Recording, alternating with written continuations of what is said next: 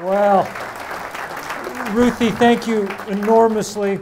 It's great fun to see you, Ruthie, and to see Al, and to get to think about one of my oldest Aspen friends, Simi Hamilton, uh, off in Oberstdorf skiing the sprints tomorrow. So that's good.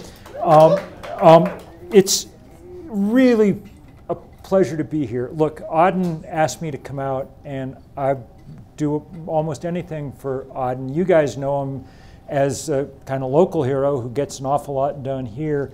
But you need to know that he has played a big, big role nationally too in helping take this debate uh, about climate and bring corporate America and the outdoor industry and everything else right square into it. So uh, he's, he, he, really is a, a, hero, and, and he and his crew, uh, Hannah and others, were so grateful for the um, uh, my wife Sue and daughter Sophie and, and son-in-law almost Josh.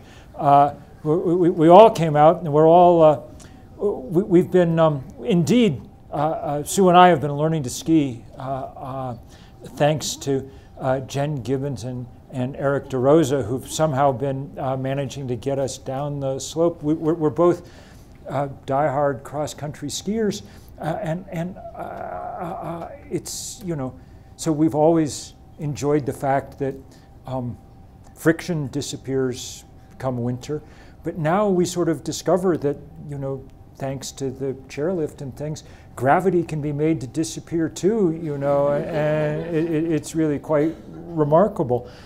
Um, uh, we're also really grateful to the nice people here at the Limelight, to Henning and his crew who've been taking good care. Um, um, I'm not going to spend, I really only want to talk for a little while and then just sort of have conversation. And I'm not going to spend much time at all bringing you up to date on where we are scientifically and sort of what the latest is. I'm working on the assumption, um, based on all the times and come to Aspen and the people I know, that you all understand what's happening with the climate crisis more or less.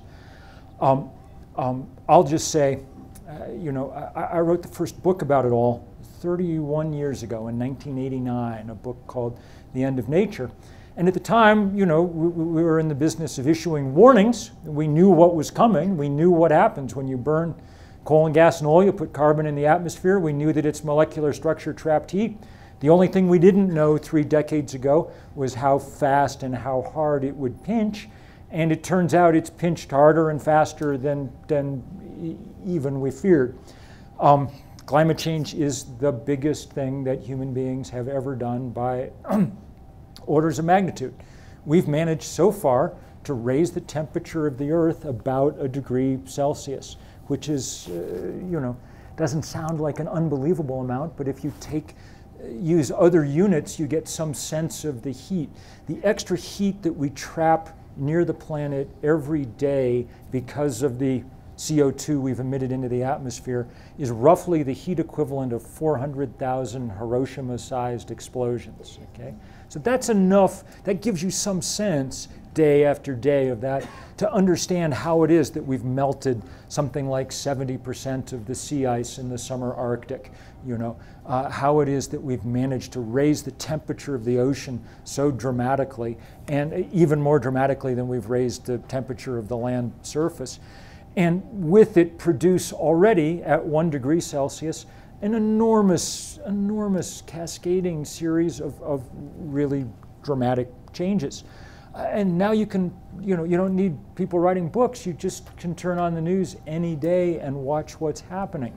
You all saw the pictures over the last four or five weeks from Australia, um, from a place uh, that has endured deeper droughts and higher temperatures than at any point in its history. There was a day in December when the average high temperature averaged for the entire continent of Australia was 107 degrees Fahrenheit. Um, um, there'd never been anything close to that before, and that explains why it got so incredibly dry and why so much of it went up in smoke. And of course, when it did go up in smoke, it put an enormous plume of carbon into the atmosphere.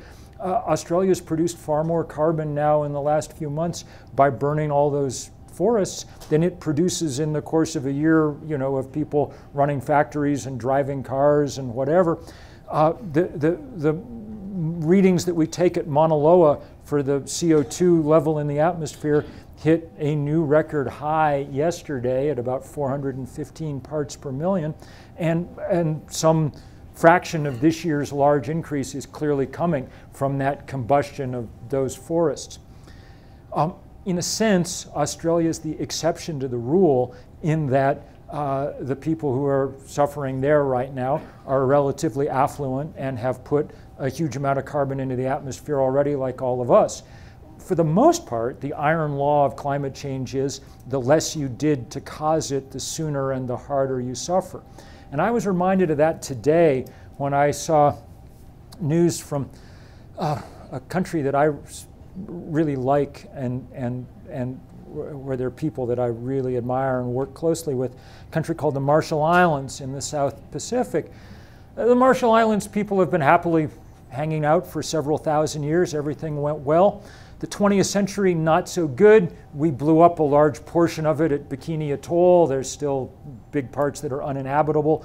But uh, the 21st century, much tougher. The highest point in the Marshall Islands is a meter above sea level. That's a bad place to be on a rapidly warming planet. Today, they announced that they were having their first outbreak of a disease called dengue fever, um, uh, which is the fastest spreading disease on Earth, even if it's not as uh, quite as dramatic as the coronavirus in China. Around the world, dengue, uh, mosquito borne disease, which the World Health Organization says is the emergent disease of this century, precisely because it so rapidly responds to increase the mosquitoes increase their range in response to increases in temperature and humidity. Well, I mean, nobody in the Marshall Islands caused the problem that they're facing any more than people in Bangladesh uh, or, or uh, the Mekong Delta or a thousand other places around the world that we could name. Um, the scary part of where we are is that one degree is just the beginning. Even if we'd kept the promises that all the countries in the world made at Paris, the temperature of the planet would still have gone up, would still go up about three degrees or maybe a little bit more Celsius, uh, five, six, seven degrees Fahrenheit. If that happens, we can't have civilizations like the ones we're used to having. That's more stress than we're able to tolerate. Um, um, just to give one small example, you've, you've watched what happened to the politics of Western Europe when a million refugees arrived from the Middle East.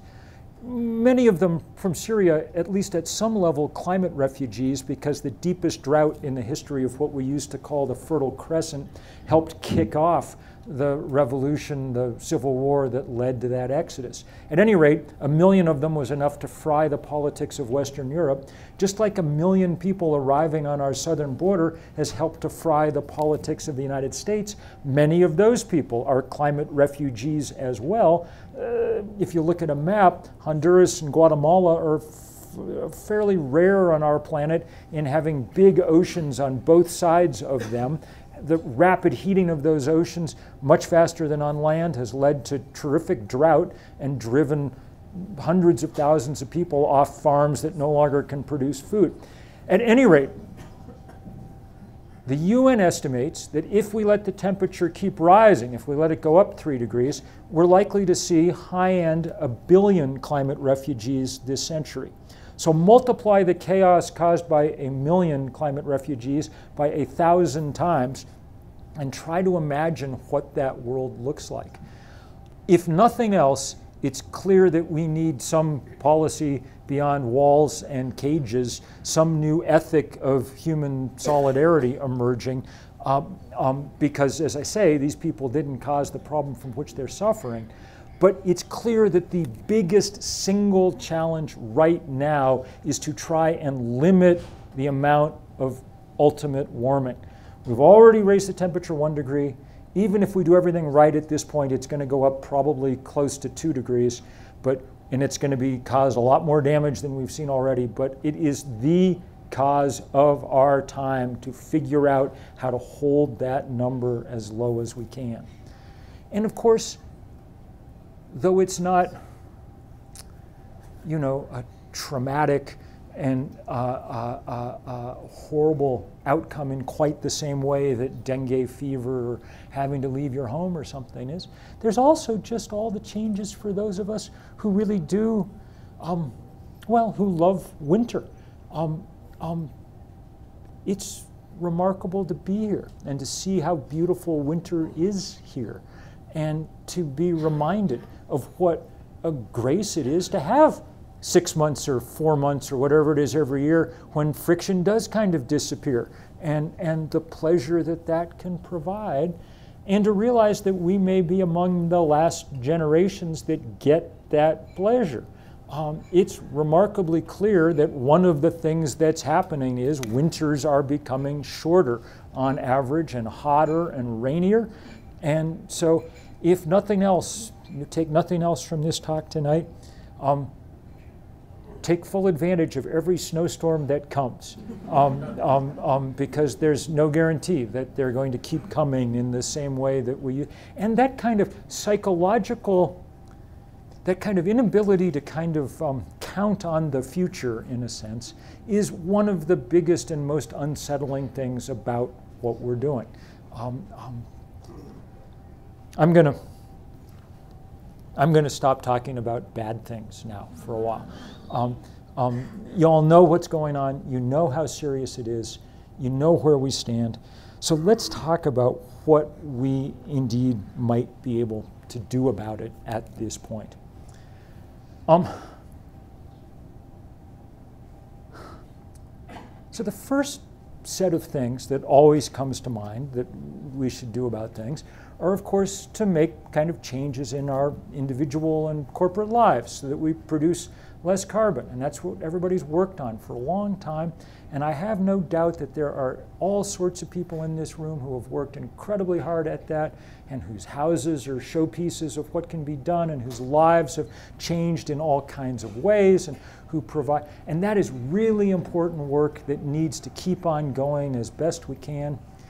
And it's also important to realize at this point that by itself it cannot come close to dealing with the problem that we have.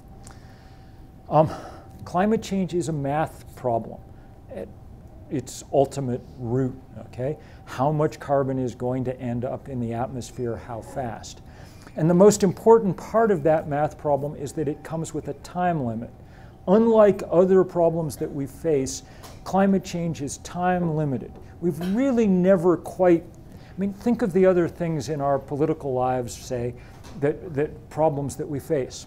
Like right now, the Trump administration, among its long list of bad things that it's doing, is trying to screw up health care for people and trying to undermine the Affordable Care Act. And, and so that means that there are people getting sick and dying and going bankrupt and on and on and on, and it's terrible. And we should be doing things about it, and I very much hope we will.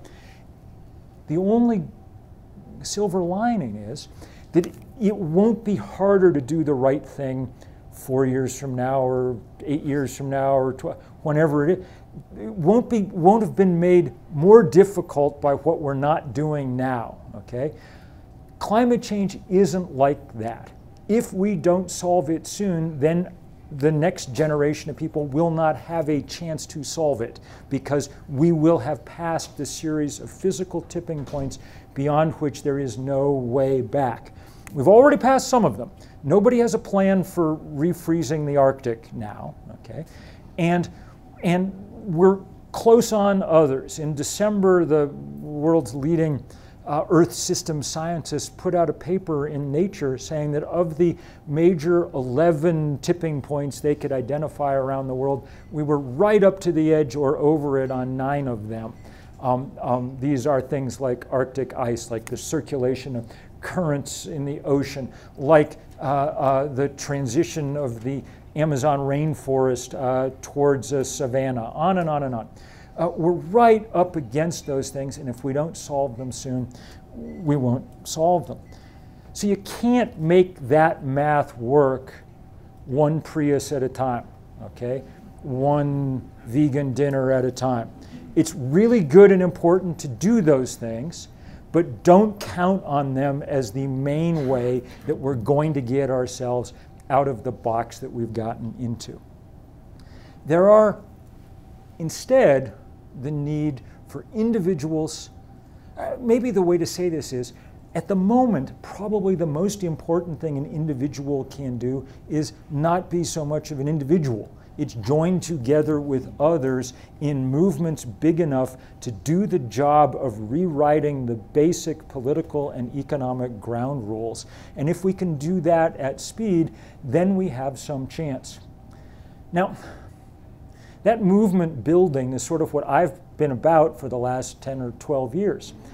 It's not what I, I mean, it took me way too long to figure out that that's what we needed to do.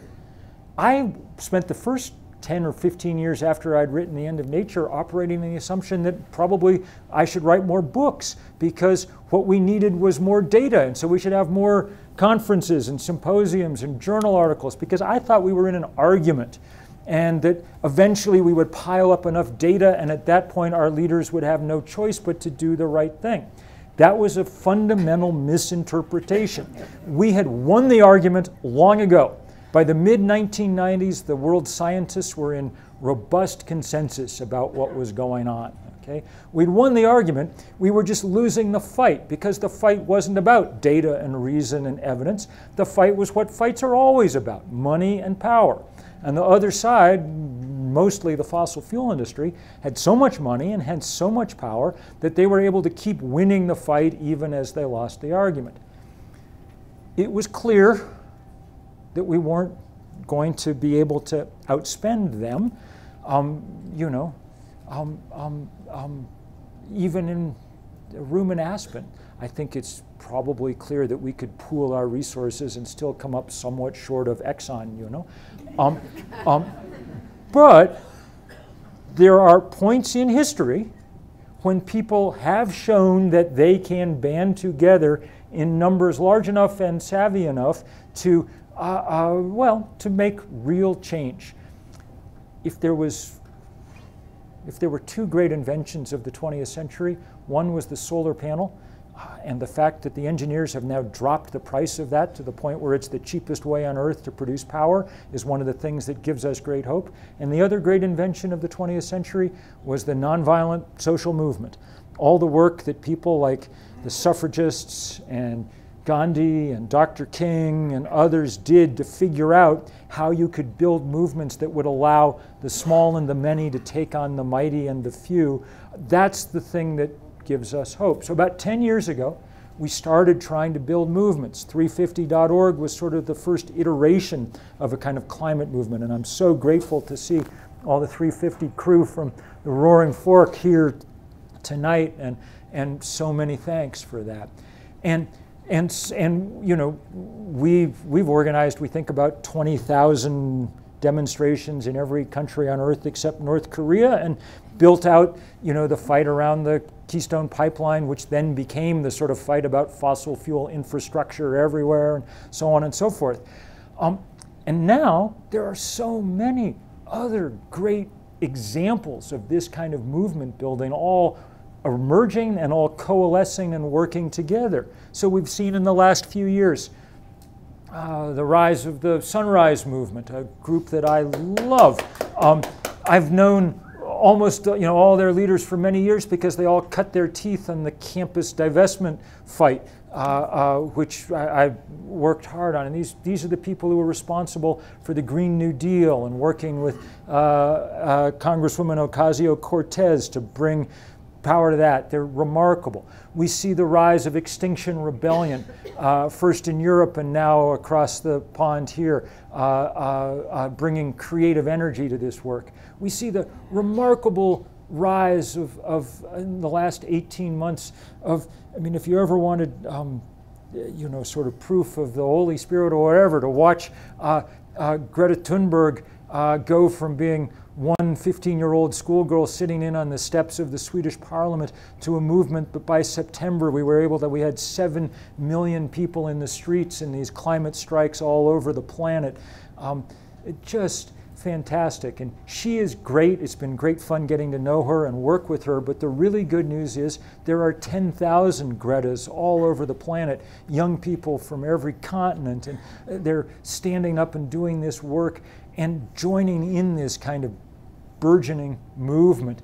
Um, it's a movement that draws heavily on the frontline communities that are most vulnerable to climate change. It's led in many cases by indigenous communities on this continent and other continents. And that's really powerful. It's really good to see the, the kind of meshing up of the most ancient wisdom traditions on this planet with the newest wisdom traditions on the planet. The view from the Sweat Lodge and the view from the kind of supercomputer and the satellite are very much in sync now, I think. And what they're telling us is that the conventional wisdom that most of us have lived our lives under, that our economies are always going to keep growing and so on and so forth, are somewhat nonsensical at this point. That's a powerful place. We've got this movement growing now. And the polling, even in America, which is the most you know, backward of countries on climate change, indicates that something like 70% of Americans now understand at some level the problem, if not always the dire urgency of it. Okay? That's good. It's hard to get Americans, 70% of Americans to agree on anything at all anymore. Okay? So that's powerful. There are, I think, at the moment, way more people who want to do something about climate change who are scared about it and want to do something serious about it, then there are things for them to do, or at least things that they perceive as they, ways that they could act. I wager that there are people in this room tonight who think to themselves, I would really, really like to be able to do something that changes the outcome of this, that has some real leverage and effect, but I'm not exactly sure what it is. So I'm going to make just a couple of suggestions about what those things might be. I'm going to operate on the theory that there are basically two power centers on our planet. And one of them, the first one, is politics and government. And obviously, this is an incredibly important year uh, for politics and government in our country. It's an, you know, it's an even numbered year, and that means that there are going to be elections, and nobody needs to have me explain why the presidential election this year may be the most uh, significant that we've almost ever had. Not only most significant, but there's lots and lots of reason to think that it could end up producing all kinds of interesting change. Uh, you know, I, I, I worked hard four years ago for my fellow Vermonter, Mr. Sanders, and he um, put me on the one of the 15 people writing the Democratic platform last time around. So we worked hard to make that platform a progressive document. And on climate change, it really was pretty progressive.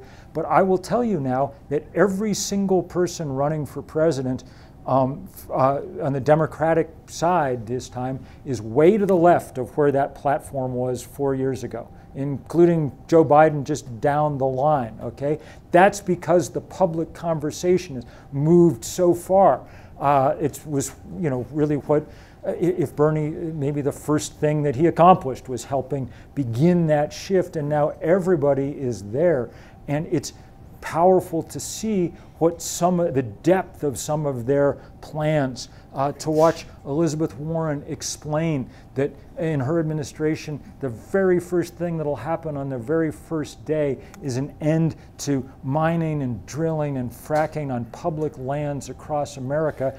That's very powerful. Public lands across America, taken, you know, BLM land and Forest Service land, if they were a country on their own, they'd be the fifth biggest source of carbon in the world. Okay? So this was something that a president could do day one that would have enormous impact. To listen to, uh, uh, uh, um, well, just to listen to all of them talk is really important, and it means that, that, that we have an opportunity come election time to get some things done.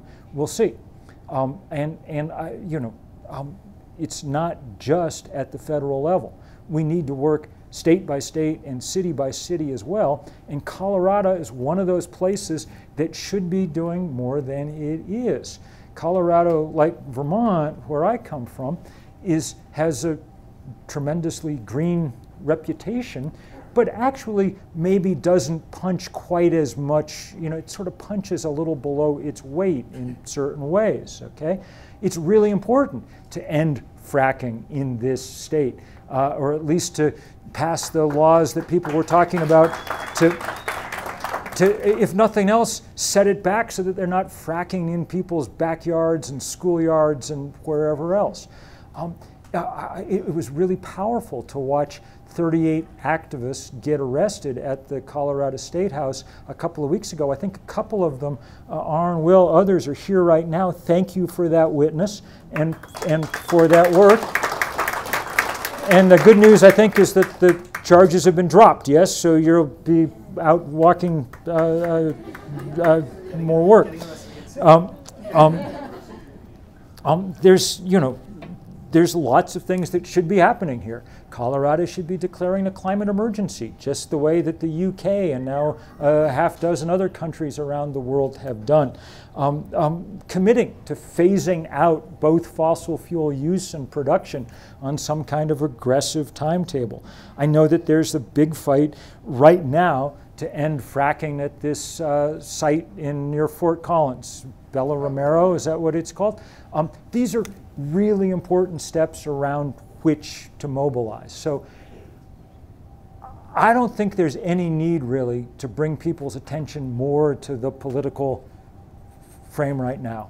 If you're not, if you're not engaged by politics in 2020 in the United States, then nothing will ever engage you in our political life, okay? So I'm going to not talk about that more.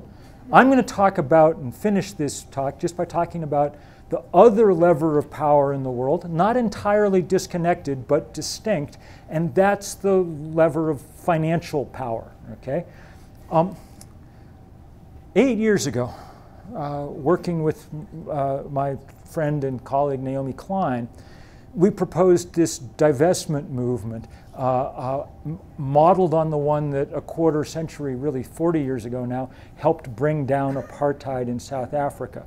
And we started asking with 350, we started asking colleges and churches and other people to sell their stock in coal and gas and oil on the theory that this might, um, well, our, our original hope was merely that it would kind of begin to rob this industry of its sort of social license to operate, that it would begin to cause people to question more closely this industry and to understand, if nothing else, the basic math about climate change that in their reserves, of the coal, big coal, gas, and oil companies on Earth is five times more carbon than we could burn and have any hope at meeting the climate targets we set at Paris. That is to say, if those companies follow the business plans that they have laid out, told their shareholders and their bankers that they're planning on doing, then there's no mystery to this story. It ends in utter tragedy.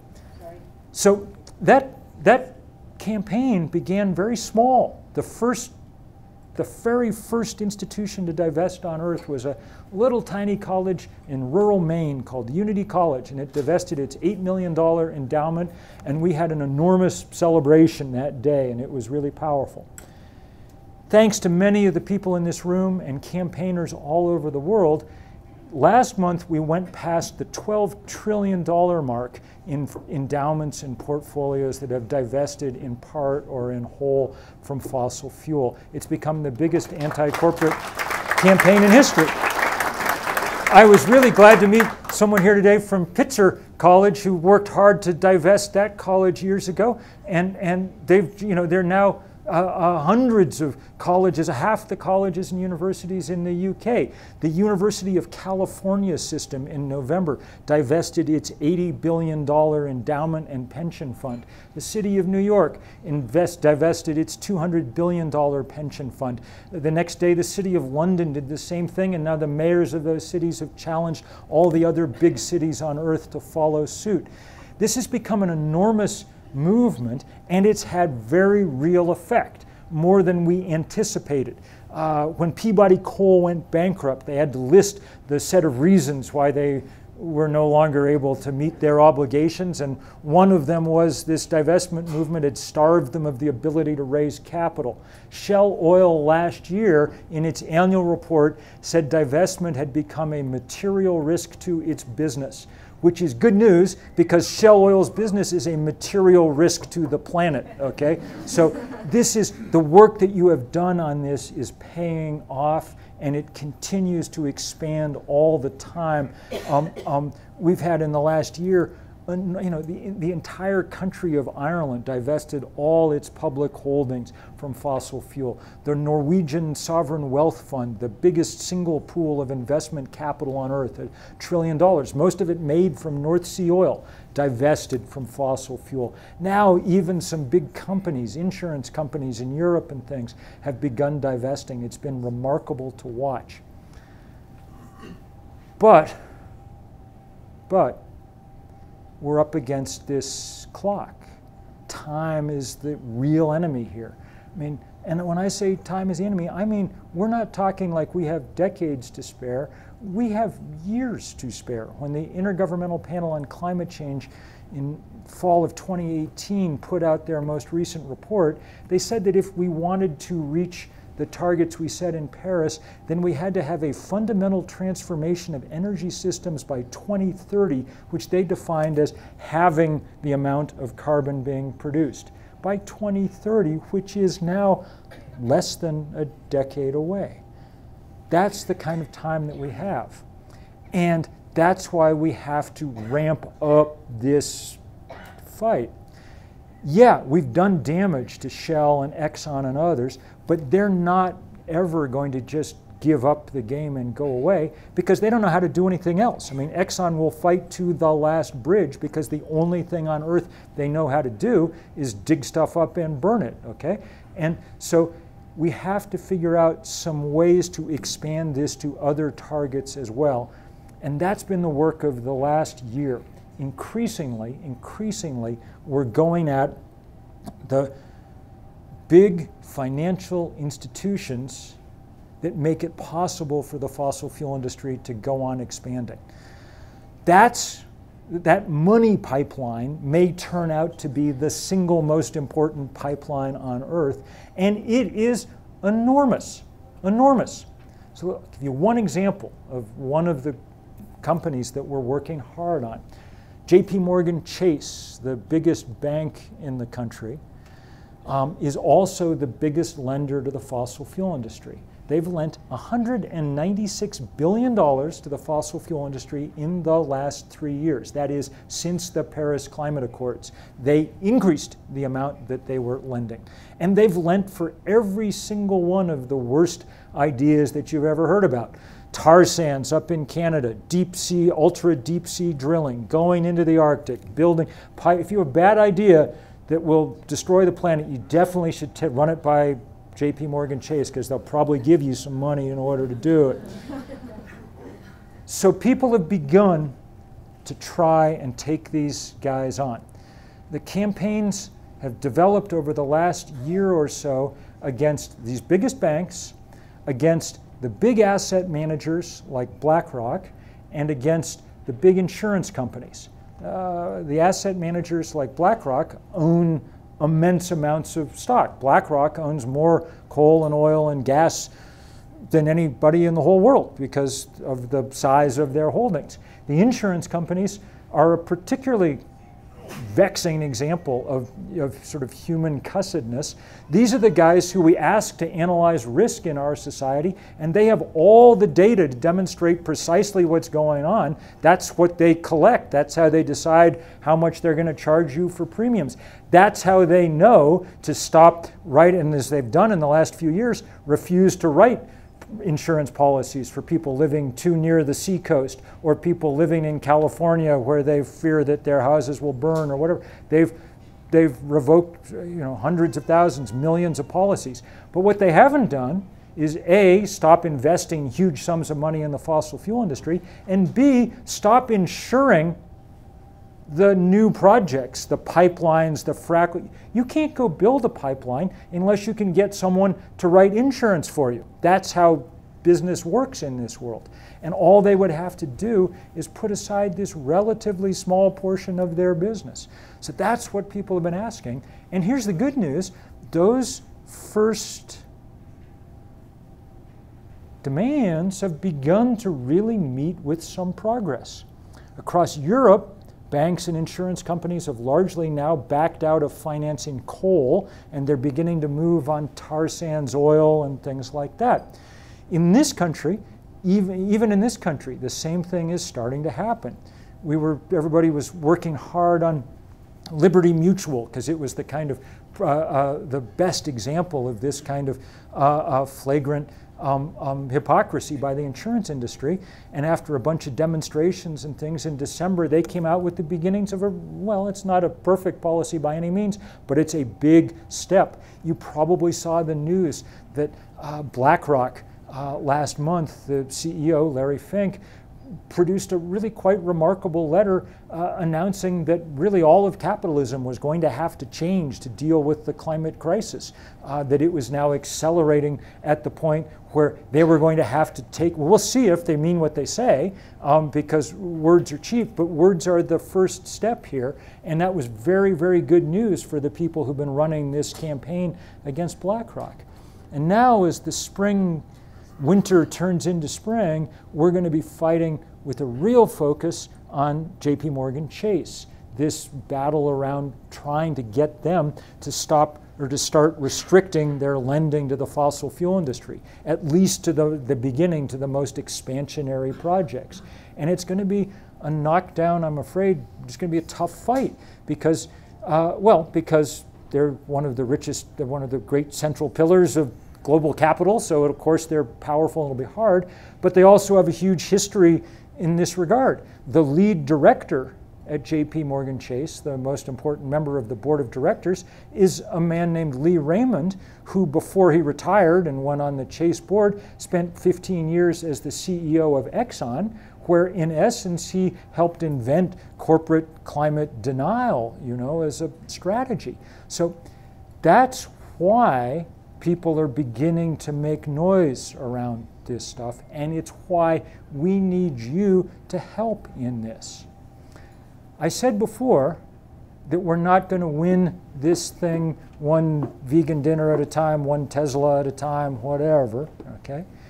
And I got to tell you that Aspen is probably not going to exercise enough political clout in and of itself to determine who the next president is or what the Senate ends up looking like or so on and so forth.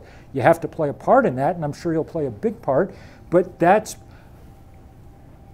But what does Aspen have? It probably has a higher concentration of what they call high net worth individuals, and in this case they define worth as money, I believe, high net worth individuals as any place, any zip code on planet Earth, okay?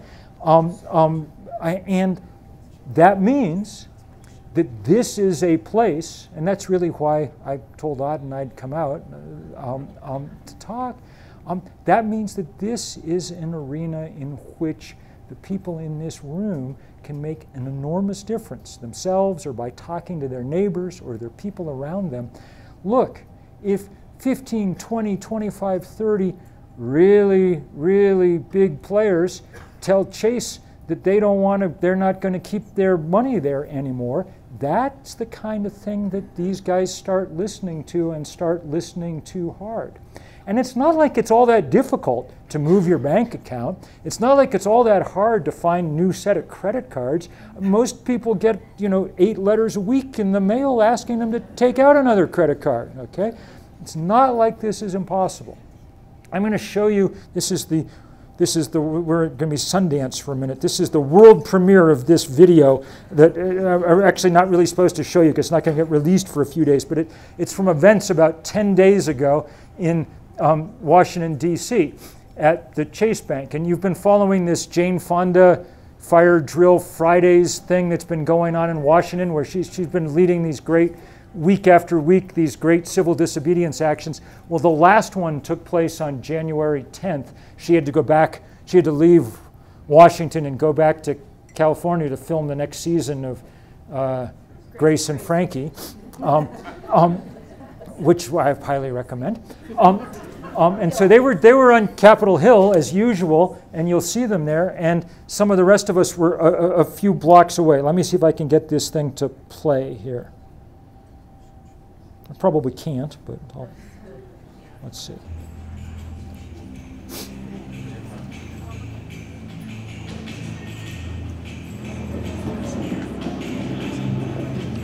Hello there. Can we speak to the manager, please? Yes, I'm the manager. Bill McKibben. Nice to meet you. This is Reverend Lennox. You're with to meet you. So we're representing a whole coalition of environmental groups, and Chase is, as you know, the biggest funder of fossil fuels in the country. So we have a letter that we'd like you to send back to New York to Jamie Dimon, and we're just going to wait here and see uh, what kind of answer we get, because we need Chase to stop funding fossil fuels. So we're just going to be hanging out there. All right, uh, well, unfortunately, we can't hang out in the branch, but I will take care of this for you. All right, Liz, you probably want to talk about that, and we'll. All right. So we're working on it. Why don't we go, uh, we'll just go sit down over here for a while.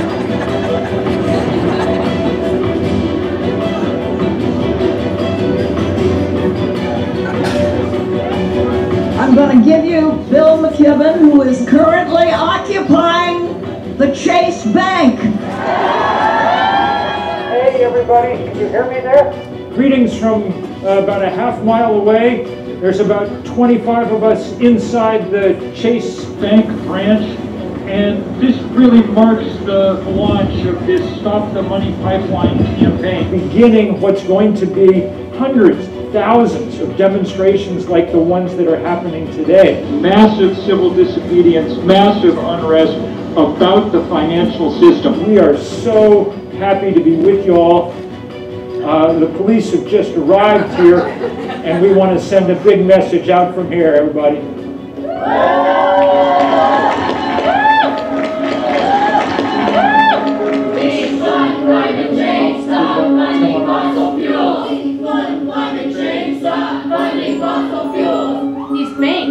An amazing opportunity. They could lead the way out of this climate crisis because if they shut down the money, they're going to shut down the fossil fuel industry. They can be the ones that say, no more.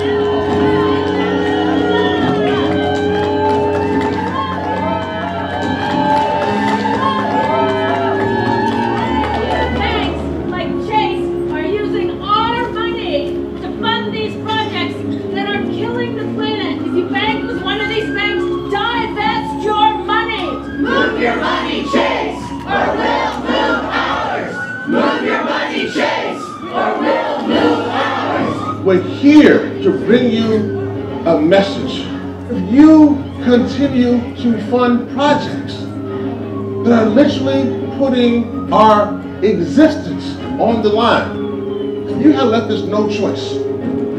That we must put our bodies against the gears of the machine and bring it to a grinding halt. So again, for those who are working, I know on a Friday, I know this is probably the last thing you want to see. But get used to it because we're going to be there everywhere you are as long as you continue to fund destruction. All we're asking is to let us live.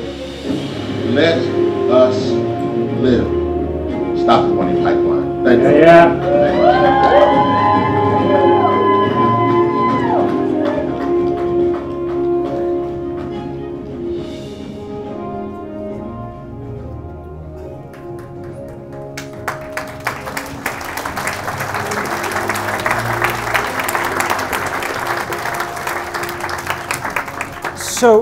so here's the deal.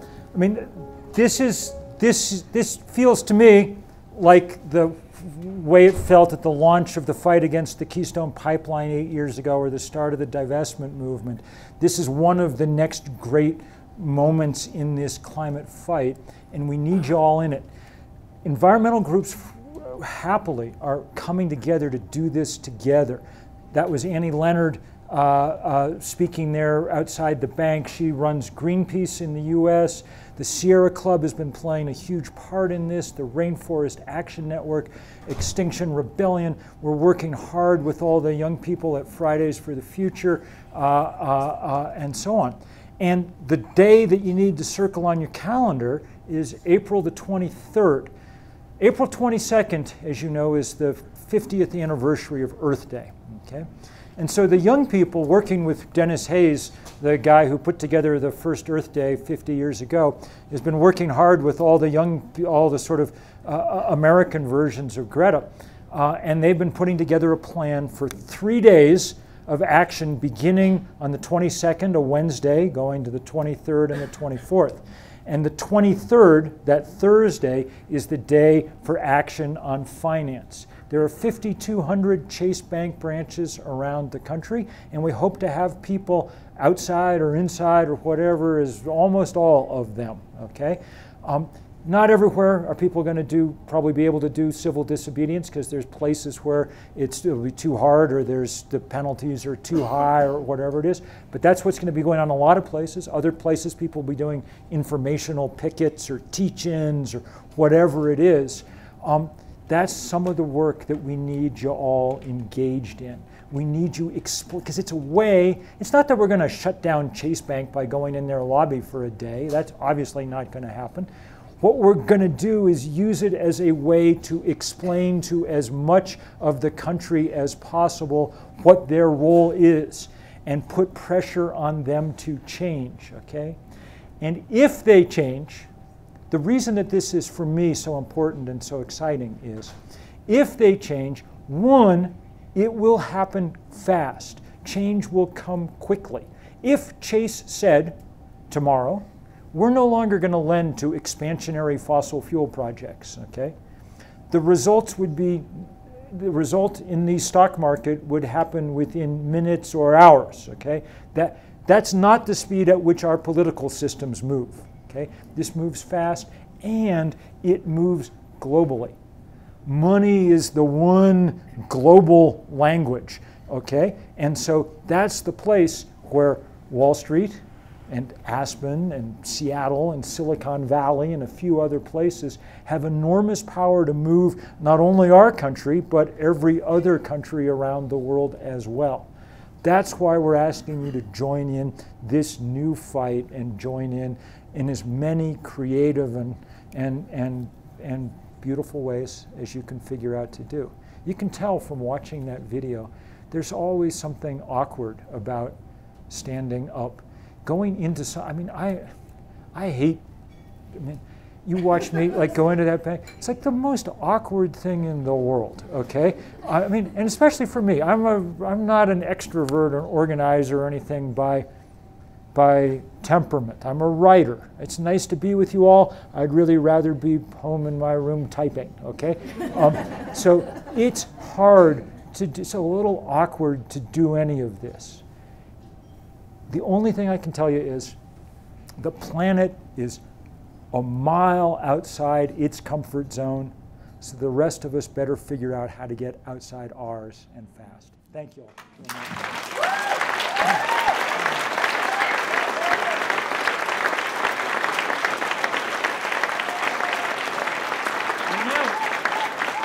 And now uh,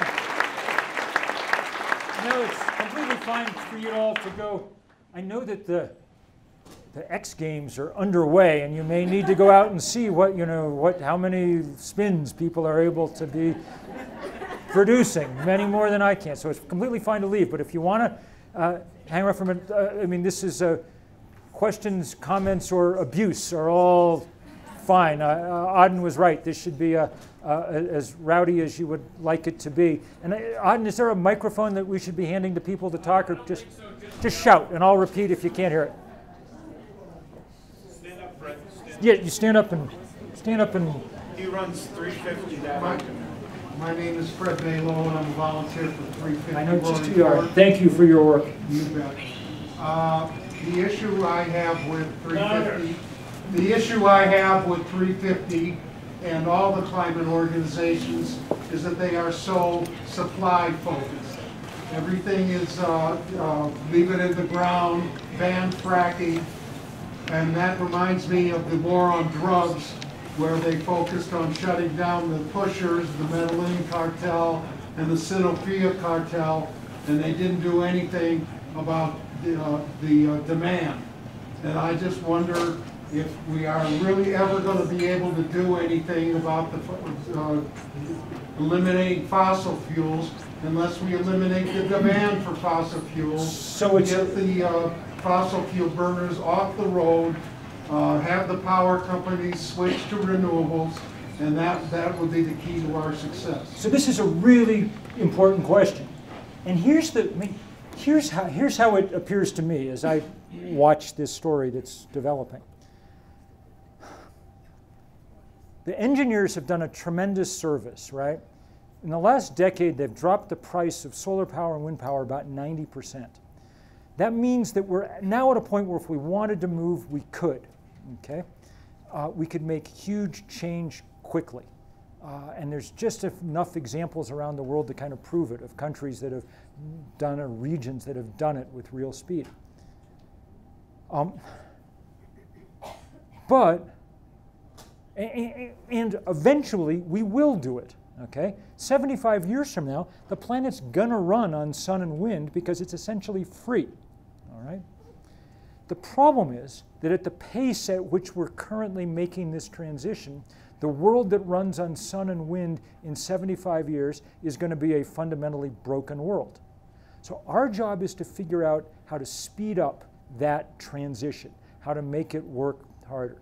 Now, there are ways that you can do that by, and people have and should continue to focus on demand side, and it's one of the reasons that it's so important that things like the Green New Deal talk hard about, uh, you know, uh, uh, 50% reduction in fossil fuel use or 70% or whatever it is by this date and that date and whatever. Those are important targets to try and meet. It's also important to try and break the political power of the fossil fuel industry because that's what keeps us from actually adopting across the country and the world those targets and moving in that direction. Their calculation is they know that, I mean, they know they're going to be 75 years from now that they're going to be out of business. They want to maintain their business model another decade or two. That's what they're fighting for. That's how far into the future business looks anymore, really, in our society. So that's why the fight has become so fundamental about these companies. It's not just their plans, those are very important, and the amount of money they're pouring into expanding the fossil fuel industry. It's that also those same companies are the ones that make it so politically difficult. Think about what happened in Colorado. People put on the ballot a completely common sense, seems to me, measure to say we won't frack within what was the distance? Yeah. So you can't frack right next to somebody's house, school, whatever. It seems sensible. I remember coming to Denver to I helped raise money for the people who were, and in the course of an evening, we raised, uh, I think in one evening at a house in Denver with a lot, we raised uh, about a half million dollars, which turned out to be about half, I think, of the money that got spent in favor of that campaign. The fossil fuel industry put in $50 million. Okay? They put in more money than has ever been spent on any ballot measure in Colorado's history. I remember driving around, I remember being driving through Denver, and there were trucks driving up and down the highway that weren't carrying, they just were towing billboards behind the trucks saying, vote against this you know, proposition. Because they'd run out of TV ads to buy and radio spots to buy, whatever else. That's why it got beaten in the end and not by very much, okay?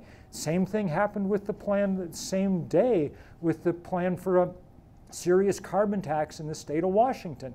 It was way ahead in the polls, just like that thing in Colorado had been, but the fossil fuel industry poured in 40 million. We've got to figure out how to break some of their power. And a important way to do that is to raise the cost of their capital, to make it hard for them to be able to fund the kinds of things that they want to do. That's what the Chase banks of the world do.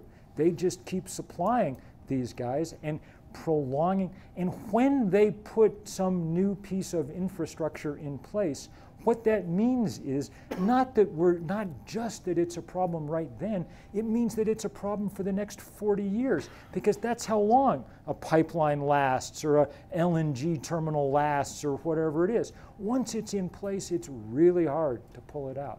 So that's why we fight them hard. Thank you so much for your work on all this stuff. Uh, hi, Bill. Uh, I traveled 70 miles to get here. I'm hoping you'll give me 70 seconds. Uh, gracias for your work. My family and I marched with you in New York City, Denver, Nebraska, and D.C. Today we're here in Aspen, a, a town known for consumption, not conservation, at an event sponsored by the Aspen Skiing Company. Aspen Skiing Company support, uh, supports expanding the runway at the airport so more private jets can land. Private jets are at least eight times less efficient than commercial jets. They refuse to stop selling meat and dairy. Meat and dairy creates more emissions than all tailpipe emissions combined. They create tons of trash each year, of which less than 8% is recyclable. Aspen Skiing Company is wholly owned and operated by the Crown family. The Crown family has a significant stake in JP Morgan Chase and General Dynamics. General Dynamics is a global defense company that makes combat vehicles used in wars fought over oil. JP Morgan Chase is involved in oil field exploration. So here's my question. How do you justify tying your name to a company whose best efforts to combat climate change amount to greenwashing, who supports endless wars, wars fought over oil, and oil exploration? Well, so I, you know, it's not like I'm, I'm not an employee of Aspen Skiing Company. I can hardly ski, as it turns out. Um, but I think that this is sort of what I was talking about. You could shut down Aspen Skiing Company tomorrow, which it sounds like you might like to do. And in fact, none of the things that we're facing would materially change. Okay, that the, the arc of where we're going would continue. So what one looks for, I guess what I, let, let me answer. You ask questions, let me answer it. What one looks for are points of maximum leverage. We have a decade to solve the problem that we face. So one tries to figure, and so I don't, my guess is that the meat and dairy that's served by Aspen Skiing Company is not going to be the maximum point of leverage or the, money that they make selling meat and dairy. So, so what, that's exactly why I'm talking about JP Morgan Chase. Pointing the fingers at them. That's why I'm here. Because we're talking about because we're talking about the people in this town, and I No, man, do the same. go after them. You're you you got no. I I, I right. disagree with you. I think that the what we need to do is build the fight against the biggest players in the world, like J.P. Morgan Chase, and I'd be very happy if people like the Aspen Skiing Company were able to leverage their leadership to begin putting pressure on Chase. That would be a good thing. That's a powerful step. But but I think that you um, but I think that you probably reduce some of the power of that appeal with the kind of uh, the kind of one of the things that that I think environmentalists should be careful about is a kind of constant attempt at sort of purity tests for everybody. And, and because I, I, don't think, it, in my experience, it just doesn't prove to be particularly productive. Um, the, and the sort of, the, I mean, so, so to use the example you were using of sort of meat and dairy, whatever, it's a very good idea to eat much lower on the food chain, okay? And people should do it very good idea to eat much lower on the food chain, and people should do it. But look around. I mean, I spend a lot of time out in the, in the larger world. Okay? There are huge parts of the planet that are just coming into the kind of meat eating part of their existence. And let me tell you, there's a lot of people who really like it. I remember being. An example. I remember. the money, so, so let me. General Dynamics, and Chase. You were. You started. Let me just finish. Bombs, man. Let me just finish. I, I, I'm against. I'm against bombing. Okay, so let's. We, we're in robust, robust and profound agreement upon it. Let me just go back to this example because I'm trying to make a point. I remember once being in. I remember once being in Beijing. Okay, on the in a slum on what was then the outskirts of Beijing. This was five years ago, so now it's in the center of Beijing because they've built three more sort of rings around it. But it was a pretty poor part of town.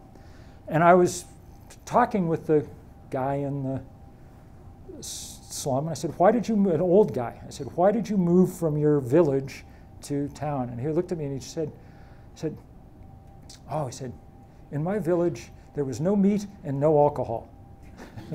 I was like, okay, I, I, you know, it really brought home to me how difficult it is going to be to do this one person at a time around the world, okay?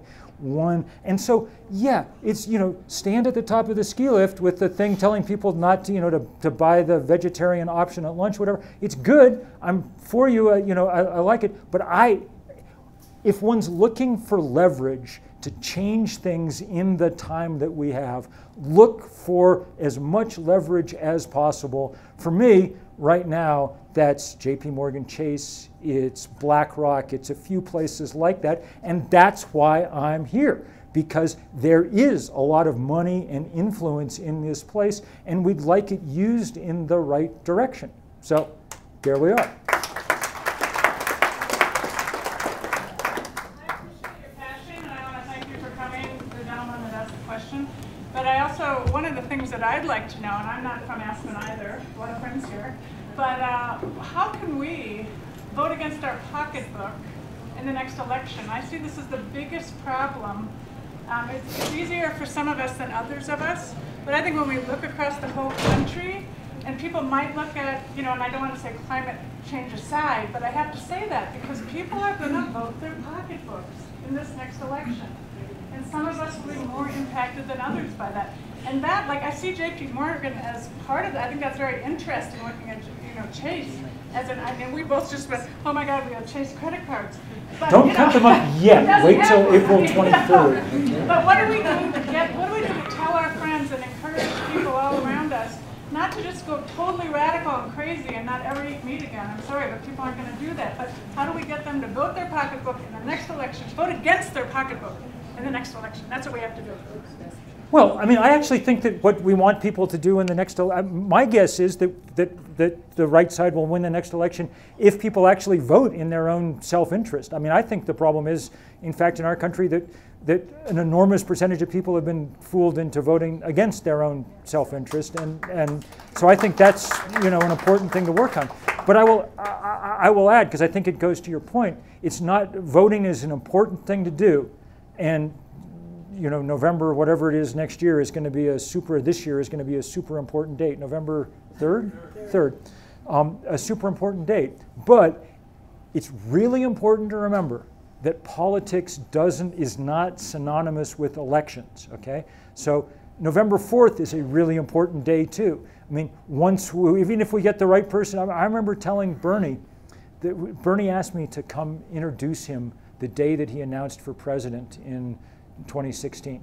So I said, okay, I'll come and give the speech, you know, introduce on the shores of Lake Champlain, introducing you, you know, as you run for president. But you have to understand, um, if you're elected, you know, I'll be down there, you know, six months later, you know, uh, chained to the door of the White House because you're not going fast enough. And he's like, I wouldn't have it any other way. So that, you know, that's why politics doesn't end there. And polit- this is the, so think about that map, okay, that, that uh, Trump always shows of the electoral coalition that brought him in power that shows the US as this vast sea of red, and he just sort of makes fun of these small blue pockets and whatever, okay?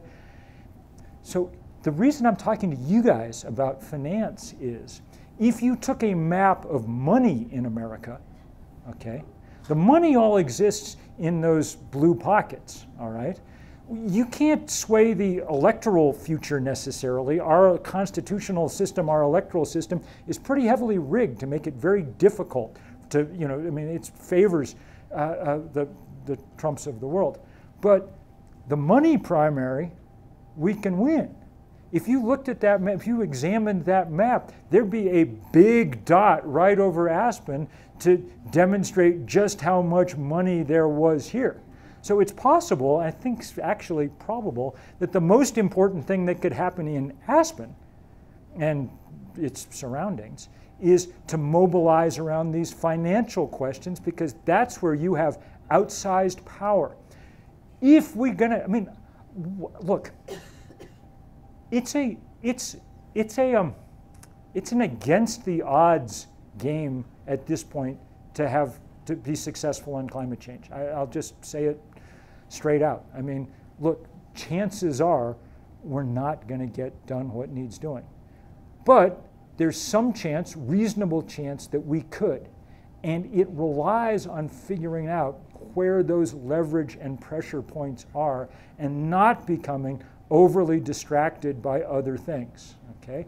And that's, if I have any value in this, it's because I've spent 30 years working on this question. So I have a pretty good sense of all the different things and ideas that people have tried and worked and what have worked and what haven't, and have some sense of where that leverage might lie. And I think this is why, I mean, that's why I'm going back to DC to go stand trial for having done this thing on the bank next month, you know, um, because I thought it was important and, and, and hope that you all can figure out some ways to do the same kind of thing.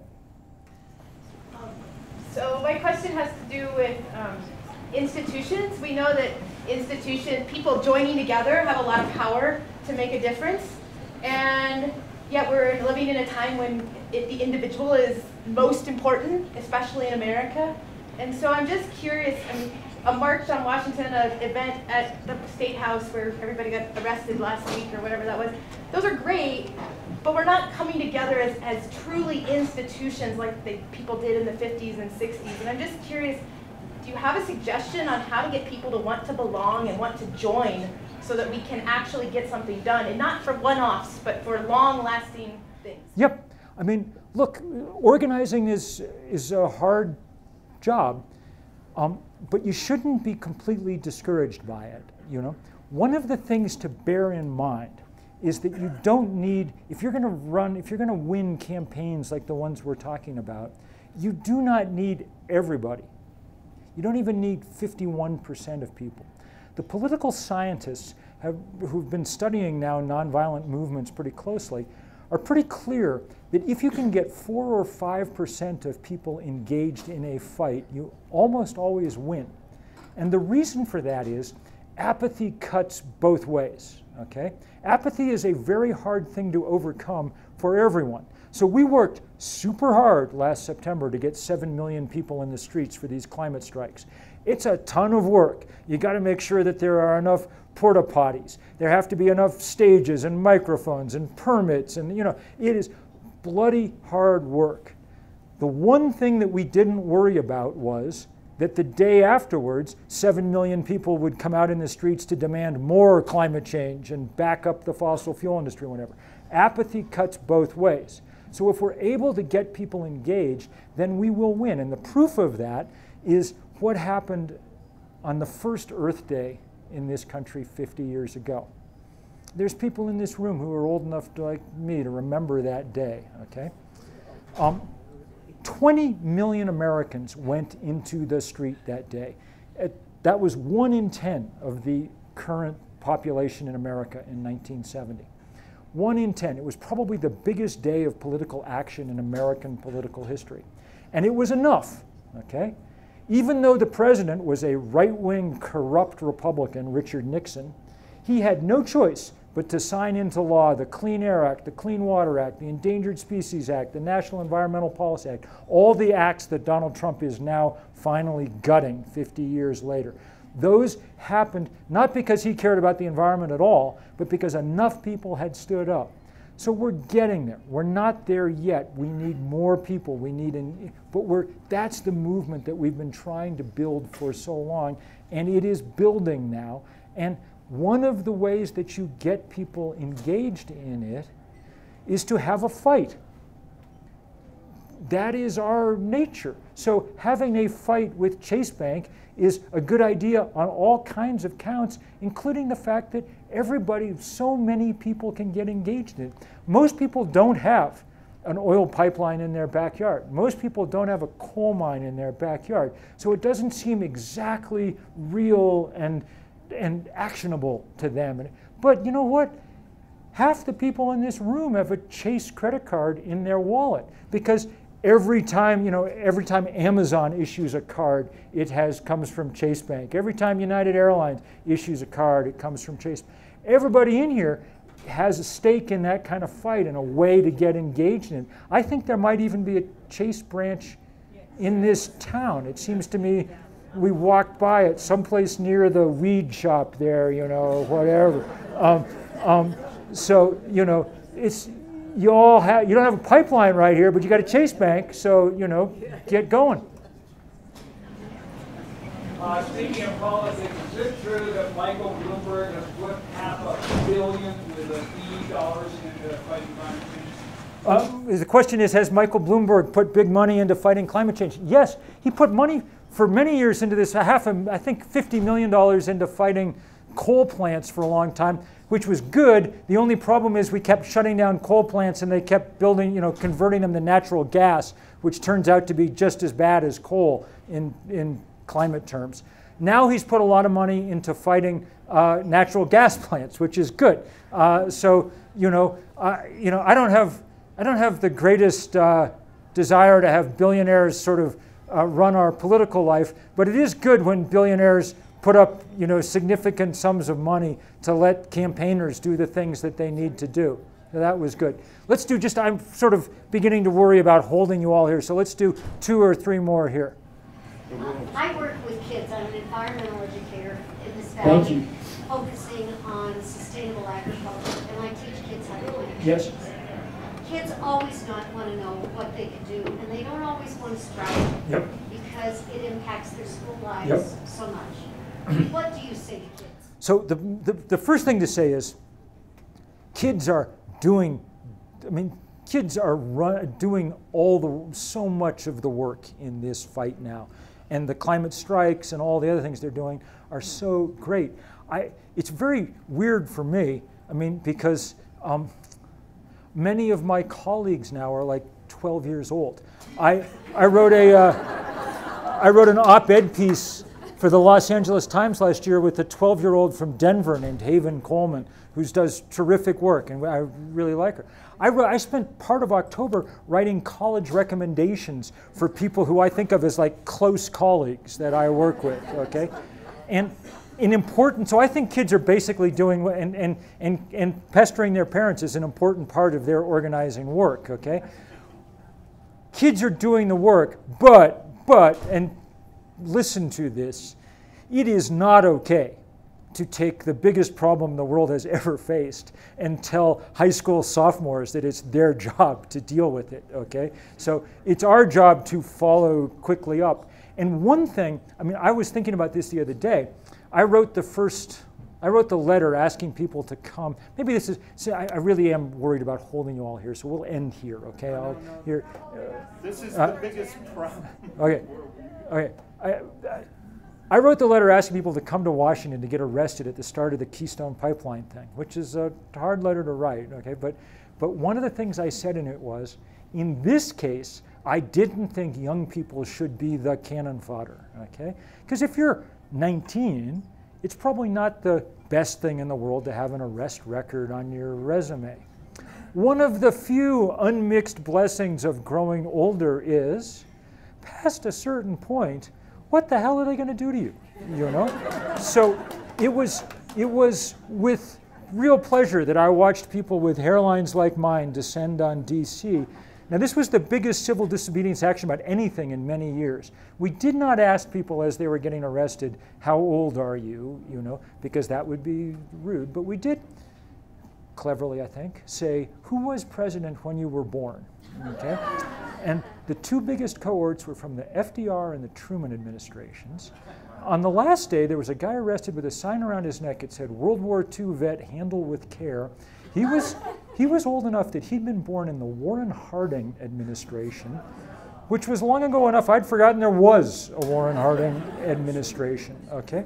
Uh, it was really good for young people to see elders acting the way that we need elders to act in a working society. And so, if I have any message to y'all, it's use the things that you have close to hand to figure out how to inflict as much leverage as you possibly can. Don't settle for doing the things that are, you know, uh, easy and immediately around you to, to do. I mean, it's very good to do those things, but don't limit yourself to them. Find the places where there is leverage to be had because that's what it's going to take. We are behind in this fight. We are losing this fight at the moment. That's what it means that the temperature keeps going up and up and up. So, what we need to do is find the places where we can make not a difference, but a big difference in a short time. And if we can do that, then we've got a chance, you know, at a world where people get to keep um, skiing for a long time to come, which is the kind of world we want. So thank you all very much.